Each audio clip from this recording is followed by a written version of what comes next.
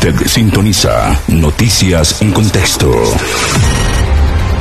El avance informativo con las noticias más importantes a esta hora. De Nicaragua para el mundo. Noticias en Contexto. Amigas y amigos, ¿qué tal? ¿Cómo están? Gracias por acompañarnos en Noticias en Contexto, el micro noticiero en Radio Darío. Les saluda Francisco Torres Tapia, hoy miércoles 31 de julio. Noticias en Contexto. El presidente de la Asamblea Legislativa de El Salvador ha calificado de cáncer al presidente de Nicaragua, Daniel Ortega, por haber otorgado la nacionalidad nicaragüense al expresidente de ese país, Mauricio Funes. Noticias en Contexto.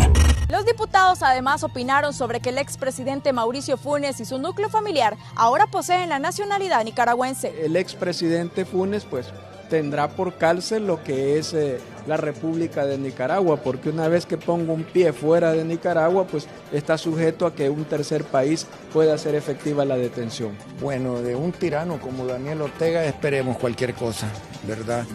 Ese señor es un cáncer para la hermana nación de Nicaragua, es un verdadero sátrapa, es una persona que traicionó una revolución. El exmandatario Mauricio Funes, sus hijos Carlos Mauricio Funes Velasco y Diego Roberto Funes Caña, así como su compañera de vida Ada Michelle Guzmán Sigüenza, tienen orden de captura por el caso denominado saqueo público una presunta malversación por más de 350 millones de dólares. Como diputados nosotros podremos emitir un juicio de valor personal, pero tenemos que respetar la institucionalidad, son instituciones separadas. Al respecto, el presidente de la República expresó, en su afán por huir de la justicia, hoy el nicaragüense Mauricio Funes quien alguna vez fue presidente de El Salvador, votó su único argumento, ya que la constitución nicaragüense no otorga nacionalidad por persecución política. Está claro que él solo está haciendo todo lo posible porque no lo alcance la justicia, pero como todos sabemos, esta tarde o temprano llega. Para el noticiero, Sara Méndez. Noticias en contexto. Por otra parte, la embajadora de Argentina ante la Organización de los Estados Americanos anunció que se ha iniciado con la conformación de la comisión de alto nivel que realizará gestiones diplomáticas en Nicaragua para encontrar una situación a la crisis política que atraviesa el país.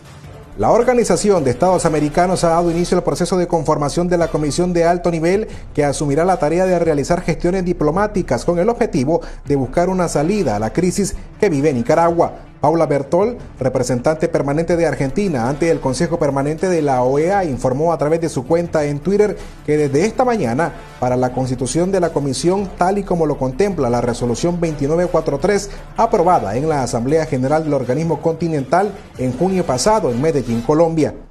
Noticias en contexto.